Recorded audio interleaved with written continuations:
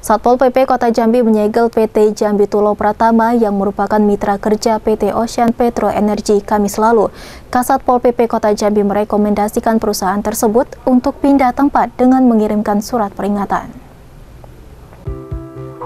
Tim terpadu Kota Jambi yang diinstruksikan Wali Kota Jambi dalam penyelidikan masalah PT Ocean Petro Energi Kamis lalu beraksi, di mana Satpol PP Kota Jambi pada Kamis siang penyegelan.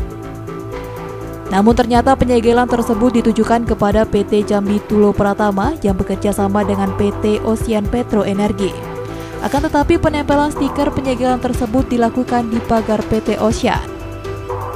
Kepala Satuan Satpol PP Kota Jambi Mustari Avandi menuturkan ada beberapa pelanggaran yang dilakukan PT Jambi Tulo Pratama, khususnya pada bangunan.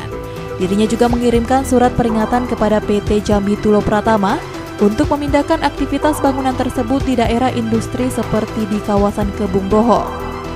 Sanksi lain yang kalau yang untuk apa? Karena rekomendasikan tim terpadu.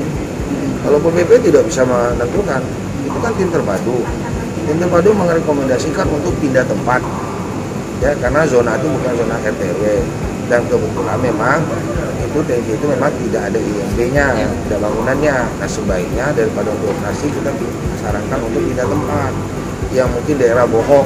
Daerah Bohok itu kan memang daerah industri, industri perdagangan yang suplai yang memang penyaluran misalnya PT Jambi dulu pertama itu adalah kepada eh, pihak industri ya kan bukan kepada konsumen yang lain justru itu lebih bermanfaat. Kalau di sana kan risikonya lebih tinggi. Di, di lain itu mungkin ilegal ilegal ilegal BBM itu itu kita kita awasi memang tidak ada izin sama sekali.